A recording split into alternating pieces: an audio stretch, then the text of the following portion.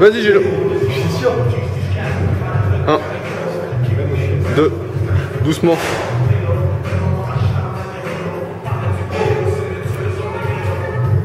6, 7.